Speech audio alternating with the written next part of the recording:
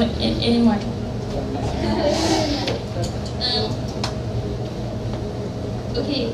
Um, this might be a controversial statement, what I'm about to say. Uh, but I am a uh, lifelong Buffalo Bills fan. You don't know the Buffalo. Yeah, thank you so much. I mean, I I wondered if uh, the Browns fans and the crowd could maybe relate. But if you aren't aware of the Buffalo Bills, uh, they aren't always winning at football. Um, uh, but anyway, my uh, all, a lot of my family's from Buffalo, so I've been a, a long-time fan, and the color scheme is great. It really looks really nice. Uh, brings out my eyes. Um, uh, but anyway, uh, there was a there was a time when Buffalo was doing pretty well. They went to uh, uh, four Super Bowls, uh, a few of them in a row. That's cool, um, but they did not win them. Win them, um, which is the thing that you would like to win uh, in football. Um, and in one of the games, they were really close, and it came down to the wire, and they just needed to make a field goal. Um, and what happened?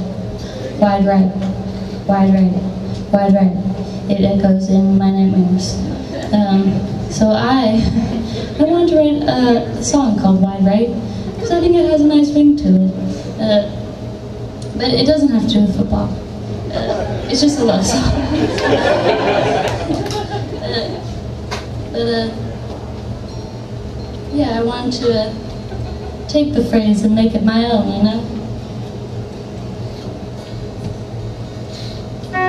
Alright, so here we go.